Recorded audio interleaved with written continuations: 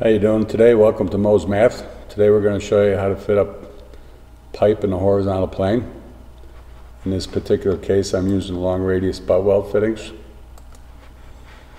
So we're using, this is a four inch pipe with butt weld fittings.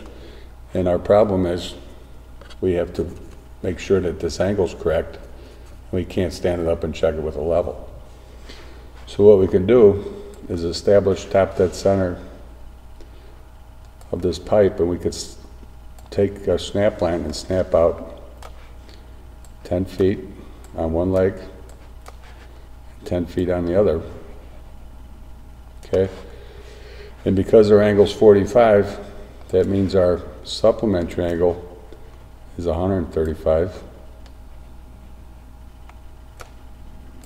135.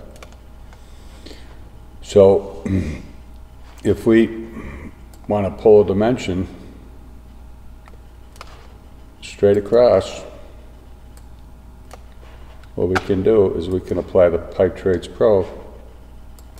We want to pull dimension straight across here and find out what it is mathematically. Then we can take our Pipe Trades Pro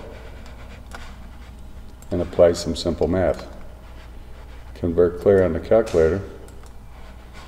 We know that the 135 divided by 2 gives you 67.5.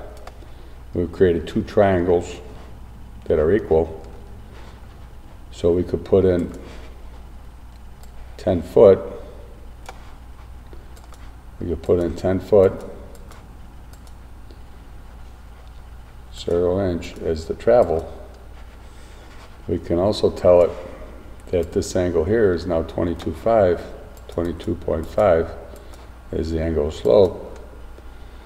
And then this leg here will actually be the run. So when we press the run key and we achieve the 9 foot 2 and 7 eighths, then we could times that by 2. And when we achieve 18 foot 5 and 3 quarters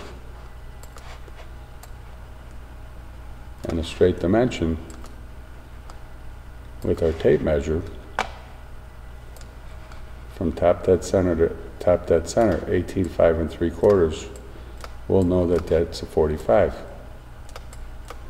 And this can be applied with any angle turn you want. We can we can change and make that a 40,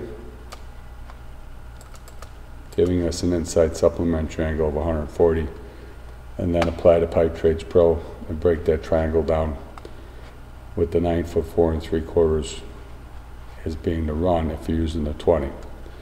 So I hope, you, hope this helped you. There'll be more of this to come soon. Talk to you soon. Bye.